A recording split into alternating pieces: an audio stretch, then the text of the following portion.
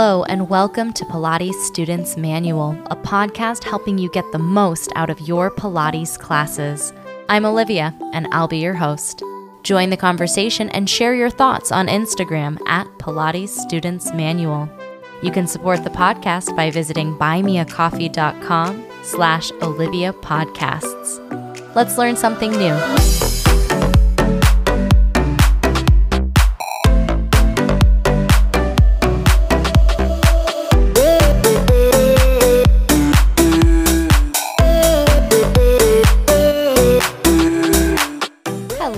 Hello, everybody. Welcome back to the podcast. Big thank you for your patience. Lots of changes happening in my life, both personally and professionally. All good things, but just things. So I apologize for this episode being a little bit delayed.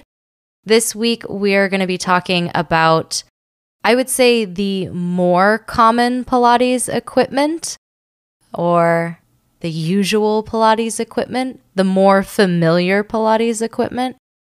Like all Pilates equipment, there are different types, there's different purposes for the things, there's certain benefits from them, there's certain detriments from the different pieces of equipment and Pilates apparatus.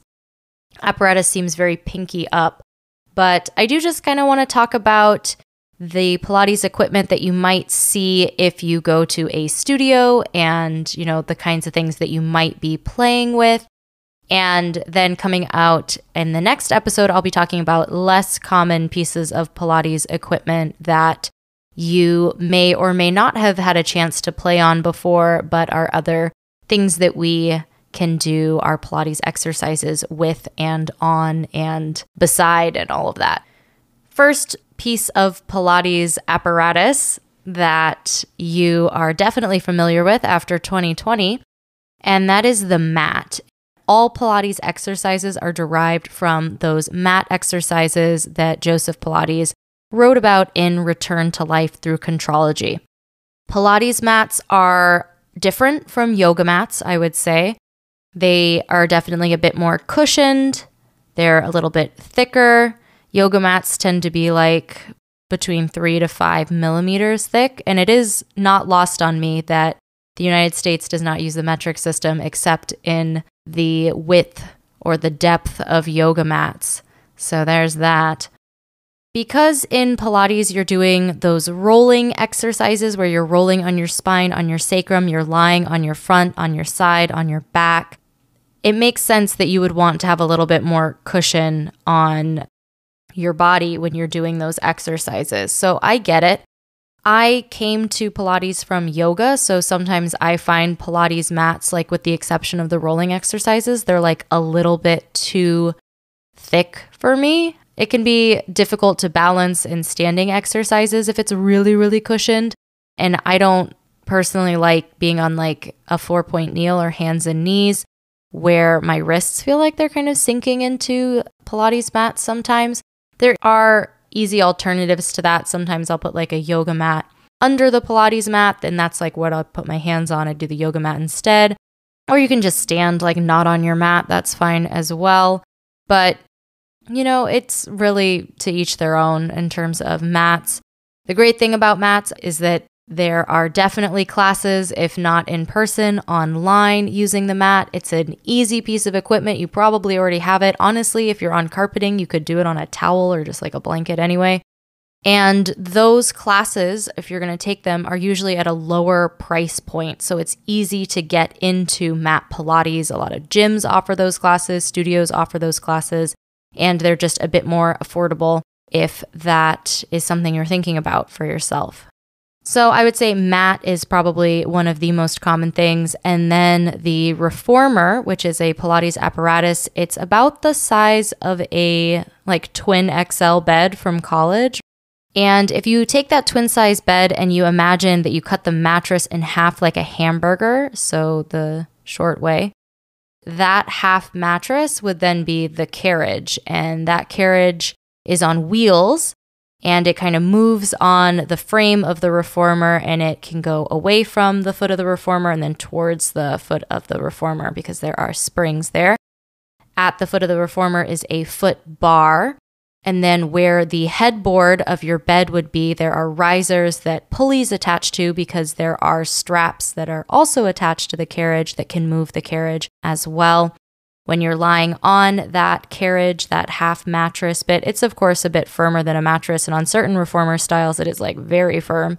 There's a headrest that you put your head on. Your shoulders are kind of blocked by these shoulder blocks so that as you're pressing into the footbar with your feet and straightening your legs, you're not sliding off of the mattress. That would be a difficult form of exercise. So you've got shoulder blocks kind of like locking you in place a bit there. Now, naturally, like all apparatus, you can lie on it as I was describing. You can also sit on it, kneel on it, stand on it, stand beside it, stand inside it, you know, be upside down on it, like all of those things those springs that are controlling the carriage or bringing that carriage back to the footbar have different resistances. Different types of reformers use different coloring systems. Like there's green springs and red springs and blue springs, and some springs have no color, they're just standard springs. That's kind of a fun thing as a teacher that you have to negotiate and do some spring math, not just in terms of like what the resistance is, but also like converting it from resistance to resistance. Luckily, your teacher does that for you when you're in class. They will just tell you what springs to put on or take off.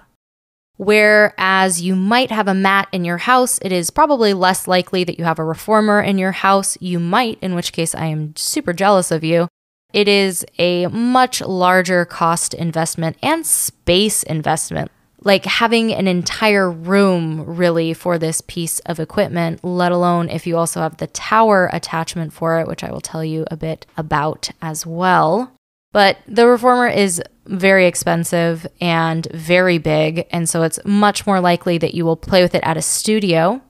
It's probably going to be more expensive to take reformer classes than mat classes. That may not necessarily be the case. I know some places have memberships, and so the cost of classes will go down, but that's the reformer for you.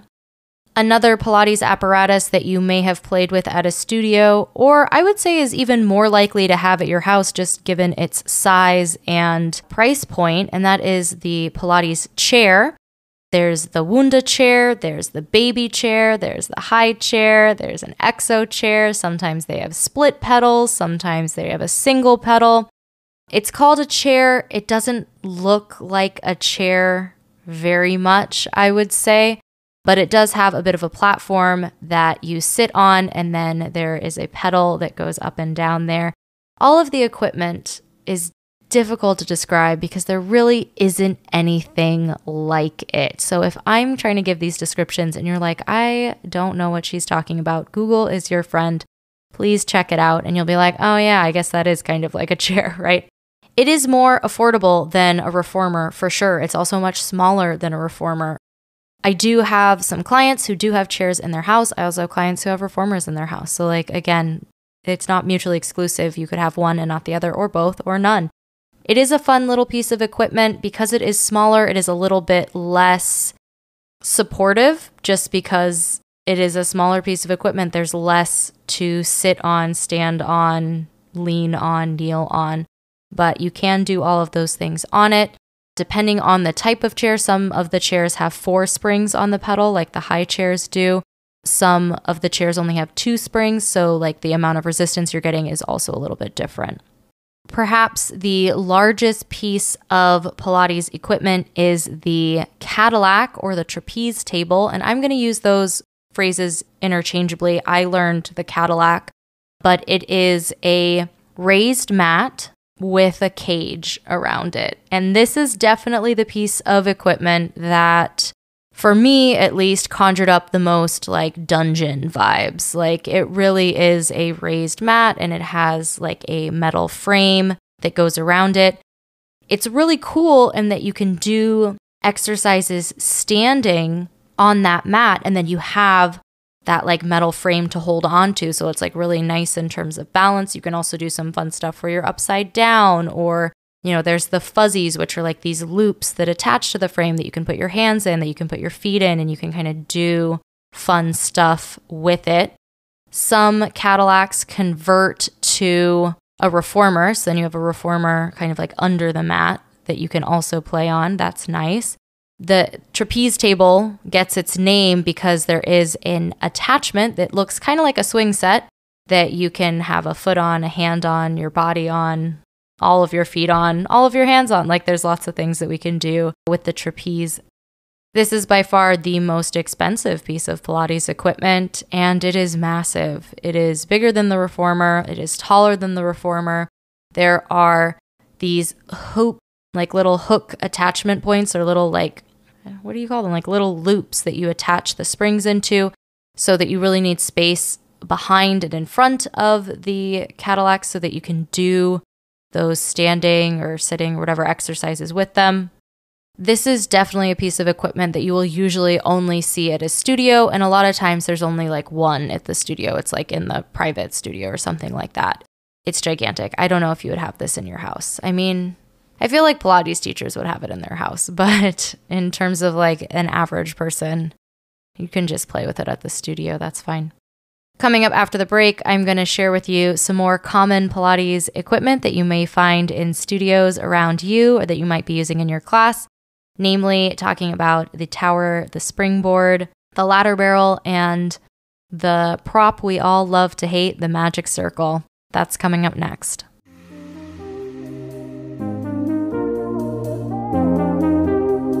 Hi there. Enjoying the podcast? Me too. Make sure you subscribe wherever you're listening so you get notified about new episodes. And visit buymeacoffee.com slash Olivia Podcasts to support the show. There you can make a one-time donation or become a member with a donation of as little as $5 a month. Members get some awesome perks, including a shout out in the next episode, a monthly newsletter, a monthly Zoom call with me, and more. You can also visit links.oliviabioni.com slash affiliates and check out some sweet deals on products I use and love. Now back to the show.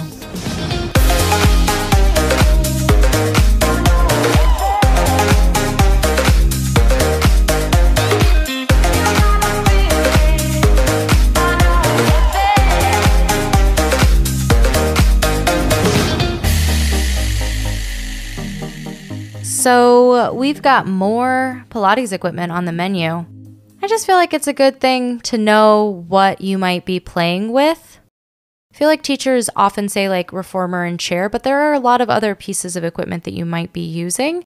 And so that's why I'm really diving deep into this because it's fun. It's good to know what the toys are called, right? So the tower, the springboard, they are separate. They are very similar. So the tower can either be like a standing unit, kind of looks like, you know, like in gardens, like those trellis arcs at the entrances of garden places. It's kind of like that. It's like this uh, metal arc that has lots of attachment points for springs. You know, we love springs. And it's also useful, you can hang on to it. So the tower itself is that attached to a mat. Cool.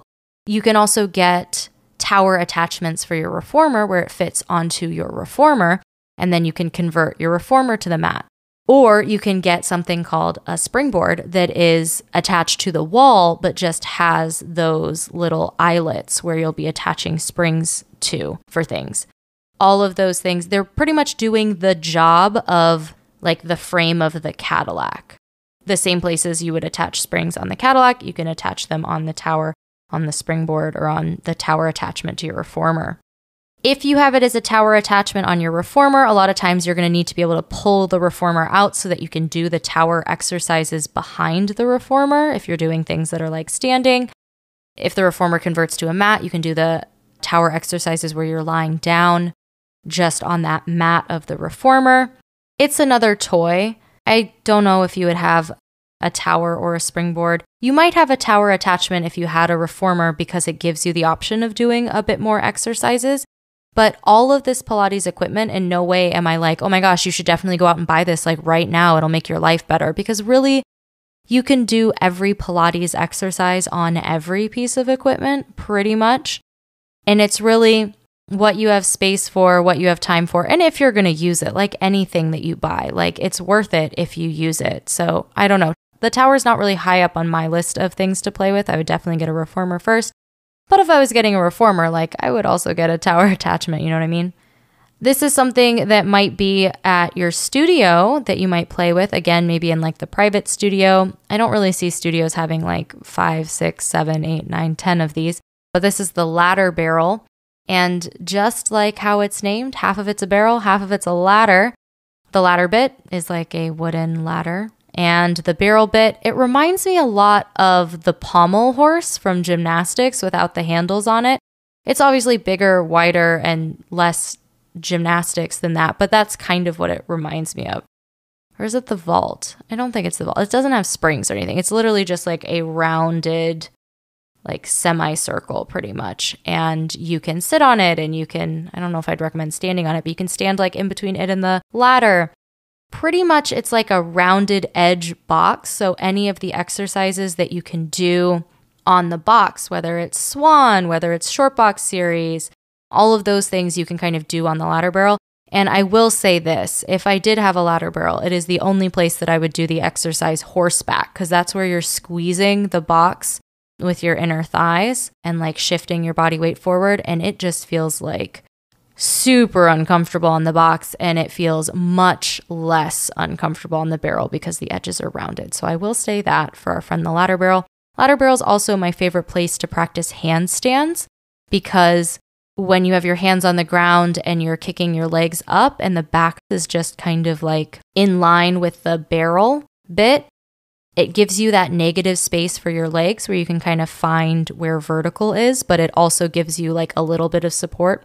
I don't like kicking up into walls. I'm always afraid I'm going to put my foot through the wall. So there's nothing to put your foot through when you do it on the ladder barrel. So there's a bonus. And then that prop that we all love so much with so much love often disguised as hatred, is the magic circle, which is such a fun little torture tool, right?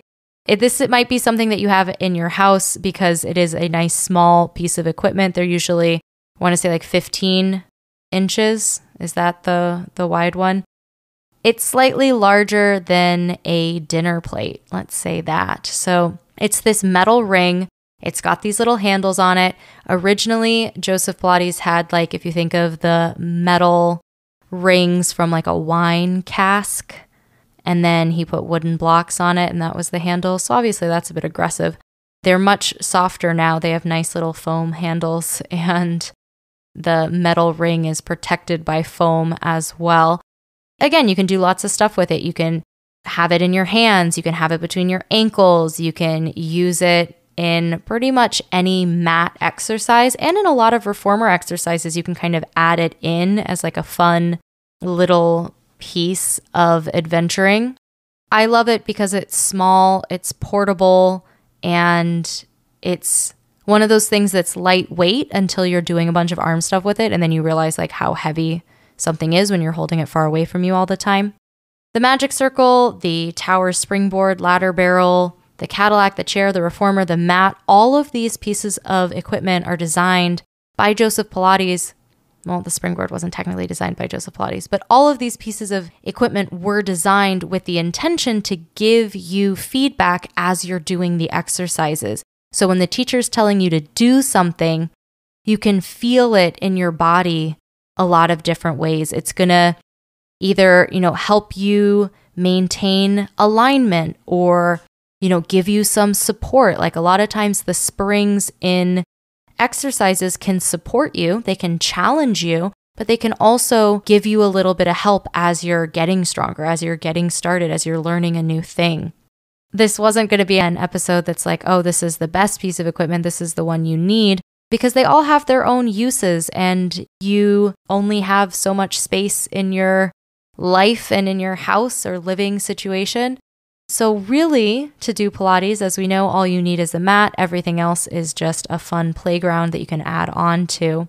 As I mentioned, coming up next week, I'm going to be talking about less common pieces of equipment, and that's when we'll dive into things like the spine corrector and the toe corrector.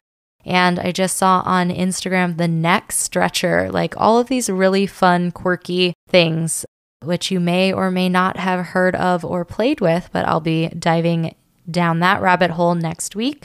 Huge thank you to all of my supporters on Buy Me a Coffee. It continues to mean so much every time you send me a message and just share how much the podcast is meant to you or how you're connecting with it or how it's resonating with you. And then when you're also donating to the project, it's just really awesome. And I really appreciate your support. I hope everyone has an excellent week. Stay warm out there, and I'll talk to you again soon.